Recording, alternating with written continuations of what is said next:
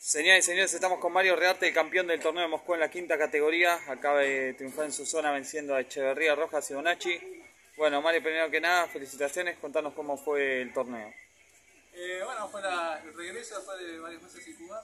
Eh, obviamente contento por, por, volver y haber sacado la copa. Y bueno, se lo di con mi familia, a Tommy Luis, a mi esposa Sil, a, bueno, eh, a Lucho, mi, mi, mi coach. Así que bueno, eh, contento. Muy bien, bienvenido de vuelta, felicidades y que sigan los éxitos, Muchas gracias, Chris.